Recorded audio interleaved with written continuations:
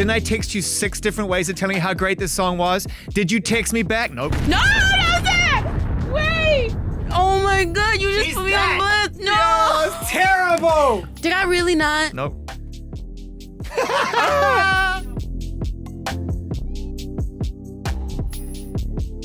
This record is another layer of who I am and my experiences. And I feel like, you know, I grew up in the public eye, so it's been very, very Yeah. scary Complicated. and very complicated and a sense of forcing myself into this idea of like perfection to protect myself, Huh. you know? Yeah. But this is the first time that I'm just like free falling in a sense. And it's scary, but Free being falling innocence. Wow, Normani, way to get me to drop a bomb that early in our conversation. That's crazy.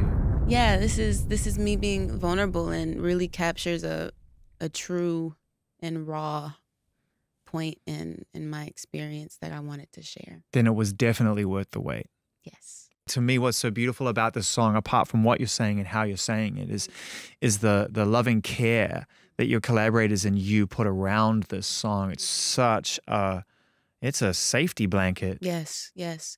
And what makes it so special, like I was saying, it captured me in the moment as I was experiencing how in the in real time. like real time yes. like as you were doing this it was happening at the same time Yes. Like I was going through it emotionally that that day I wasn't sure if I could even really pick myself up to go to the studio, but ended up and this was a result. Wow could you even listen to it on the way home the monitor mix or was it too raw too raw. too raw Yeah.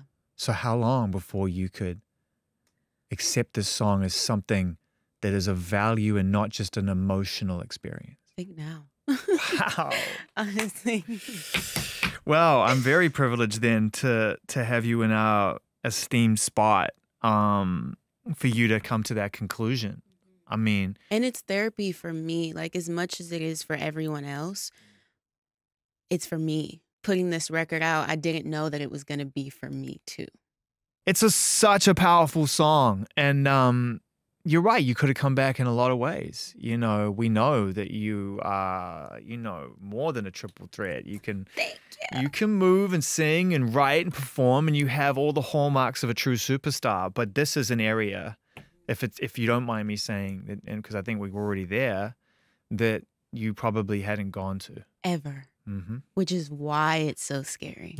You know? yeah the Like, best I ones always like- are Exactly. And I, I definitely know that I posted something on my Instagram the other day just talking about people might feel like they don't know that much about me, but that's just what makes me feel safe. you have an identity before we get to know you hmm And how much you choose to reveal of that is your choice, Right. Especially when you're coming from a place where choice isn't the first choice. When you're in a group and you come from a place where it's like, hey, this is your dream, this is your opportunity, we're going to provide you with it, but you got to work, you got to be on call, you got to mm-hmm. this, this, this. I'm not throwing shade at the system. We all know it exists, it's been around for decades. Yeah. But the point is that freedom of choice is not your first choice, it's someone else's. Exactly. And being 15 years old and not being able to be a traditional 15 year old, like teenager, to make mistakes without getting like reprimanded, it, it really, I think, took a toll on me in a large way. I guess having that experience so early. And I think that I look up and I'm like, damn, you're not even like freeing yourself to just be. Like you have such a tight grip, and not because I want to, You're holding but because tight. I've always had to, yeah, you're having to hold on tight. which is a disservice to me and Ultimately to us. right, because we're not getting the real you right. until now. And yet, we all love you. I love you. and that's the not so scary part. It's like, huh, okay. You did it once, you could do it again. do it And you could do it again and you could do it again and you're still alive and you're still blessed and your fans love you. And I'm really, really proud of myself too. I get like emotional because like I wasn't supposed to be the one in this position. Why do you say that? Because I always felt like that. That's a place of self reflection that can do you in unless you find a way to leave it behind. Mhm. Thank God you stayed with music to do that because that's the quickest and most effective way through the work for you to be able to redefine who you Mhm. are to yourself. It sounds so good. Thank you. Thank you. No, that's like I always I say that that's like one of my best just pieces. I feel like it's the start of a whole new thing. Breakthrough. Is it It's a was breakthrough. a breakthrough that's sure. That's why I reached out yesterday because I was trying to put that into words. I was trying to say like, this is something I wasn't expecting. I guess I just I gotta ask you like, how many times did it take you? What that day was like? What that experience was like? It's rare that I talk to an artist who is processing and performing in real time. it's tricky because it's so triggering, you know, and to every time I listen to this song, Yeah, it's rough. it literally it just takes me back to a very specific moment. Um and in a sense it's reliving it all over again, but it's more important for me to be able to share and let my fans and anybody else that is going through the same experience that I too feel the same. I'm I'm literally no different. Music unifies us through that deep- Exactly. deep, emotional experience that Exactly. resonates. That's why we feel it. I mean, And it's so rare. Like I'm so critical on myself too. I'm sure that everybody knows that. mhm. I'm super, super critical. So for me to like, I'm like, I love this song. I love this record. But that too, like I said, is because it's one of the deepest parts of me. where do you think that that sense of those high standards comes from? I think from just always not feeling seen or heard or like my ideas or abilities were like valid. I guess it's just this idea of perfection is really my way of just like fighting to at least be acknowledged, you know? It's something you feel you can control. Right. I got this. Yes. I got this work ethic. I got this. right. I got these high standards. I got this. Right. Waiting for everyone else to catch up. Which is like also damaging. Can drive you crazy. And it has. The truth is, Normani, I have these conversations and I really, I, I feel so privileged to be involved in anything like this where I get to better understand the artistic spirit, something I'm deeply passionate about, obviously. You could just do away with all of this if the other thing is right. And if the other thing is right, this thing will be so much better. Does that make sense? It does. Yeah. And you feel that? Do you feel you've kind of you understand that a little more now that there's a separation between how you see yourself versus how everyone else sees you? Just now coming to that realization. Yeah, huge. Yeah. And I've enjoyed the process so much more, even just like creatively. And I think that it's trusting that what's for me is for me and nobody can take it away. And also, people love me, you know? And uh, trusting that that's enough. No one can take it away. I gotta drop one. That's huge. That's big. If we look at these moments that we have ongoing, that there are kids out there and artists out there that can take moments and I see them do it and add it to this sort of playbook that kind of get, unofficially continues to be built. And there's all kinds of chapters that artists have written that help and whatever. And there's quotes and comments. And you're one of those artists that kids look to and will go, okay, like her journey is unique. It's required a huge amount of work and commitment. How's she doing it? And I think that's an important point. No one can take it away. I think there's this built in sense of um, vulnerability and fear that you have to earn your seat at the table and that you have to do things in order to, to stay there, even if you don't want to. And, and, you know, you're allowed to say no, right? And you're allowed to take your time and you're allowed to get to know yourself before we get to know the next part of you.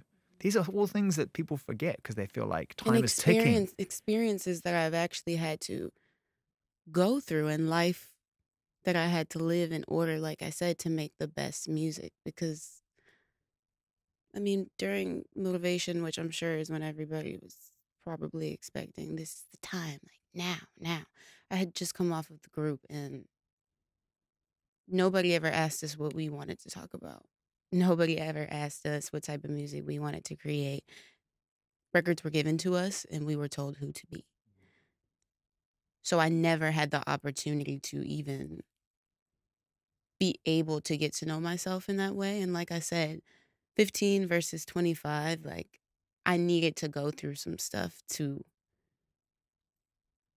to give the most authentic version of myself. Ah, it's it's such an inspiring story for and and the cadence. If you look back on it now through all the tough times, is kind of perfect.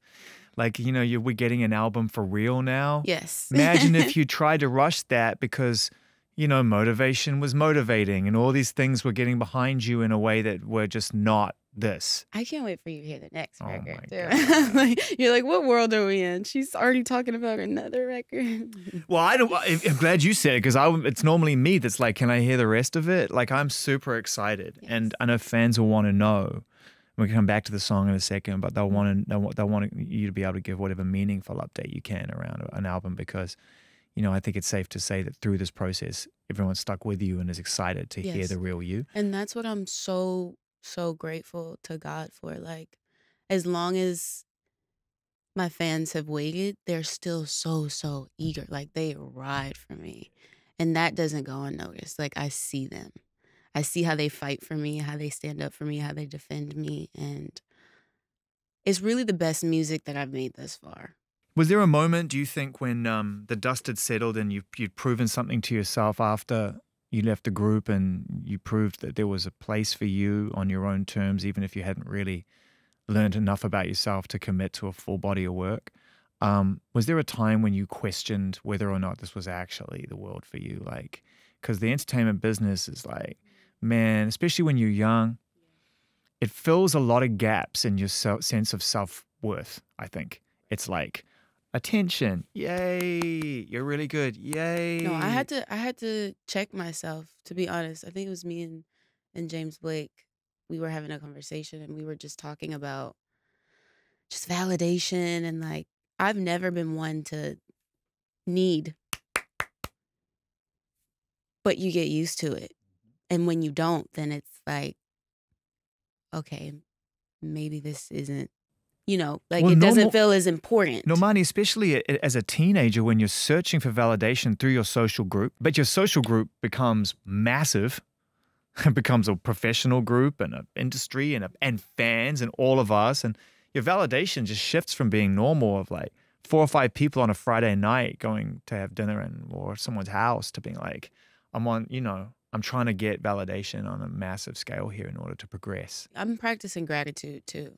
You know, and like it's a practice. because it's so easy to say and look at what everybody else is doing and what you're not, Yeah, FOMO's the worst. you know?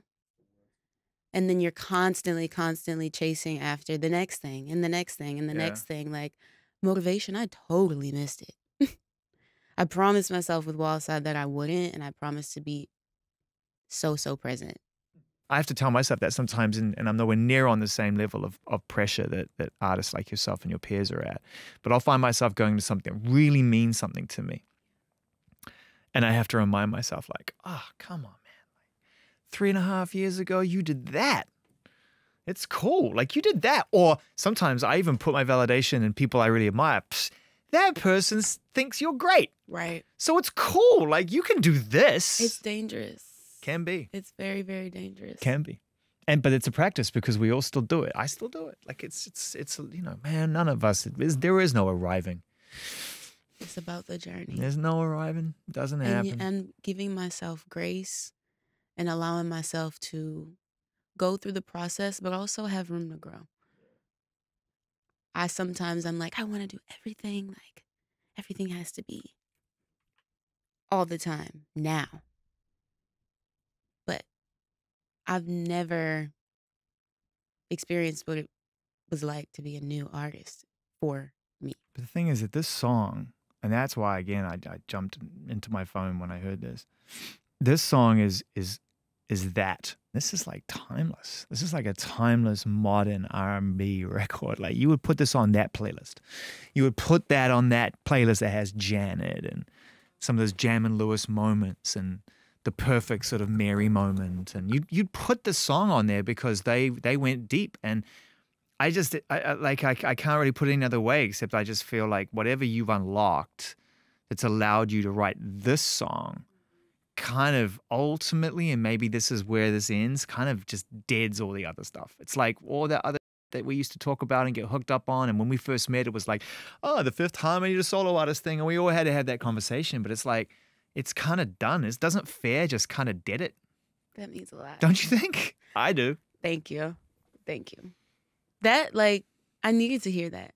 I want to give a little bit of time if we can, because I love the process to your collaborators and the people because the picture that we've painted in this conversation is that stakes are high when you walk in the room Always. and so to find people that you trust is not going to be easy you're not a speed date writing kind of person it's not like you got a 3 p.m a 5 p.m and a 9 p.m you know so who did you choose to work with on this and why I worked with Harv. of course you It did was like my, he's a genius. Yeah, man. He really, really is Yeah, just different tasteful and tasteful. tasteful 200 days and counting and you're my favorite still.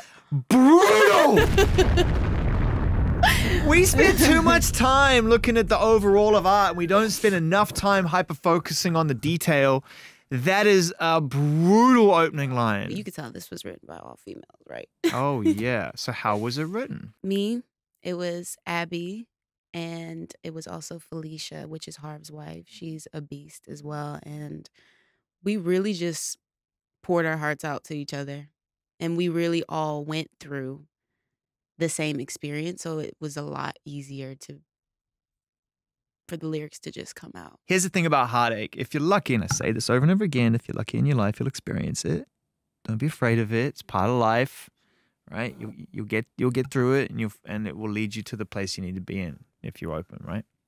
But but no one ever wants to put a timestamp on heartbreak. All you get told is you'll get through it. You'll get through it. You'll get through it. You'll get through it. But for how long? How long? 200 days? long? And if someone said to you at the beginning of that process, not to get too close to it, but if someone said to you, who you really love, your dad, you know, your, your best friend, someone close to you said, Normani, is in 200 days, you're still going to feel the same, you'd be like, I'm done. Be like That. that. oh my God. It's so amazing, this song. Thank you. Didn't I text you six different ways of telling you how great this song was? Did you text me back? Nope. No, that was it. Wait. Oh my god, you just She's put me that- on blast. No. it's terrible. Did I really not? Nope. No, why was I just talking to somebody about this yesterday? They were like, you need to own it. I knew what you were doing. You were in another interview. You were like, "Oh, Zane's being cute about my song." So anyway, yeah, what I was. It was actually one of the best parts of my day, in case you were wondering. no, it was. that song's gonna help a lot It of people. cures. No, it. So what worked for you is gonna work for everybody else. That's all I wanted. You did it. That's it.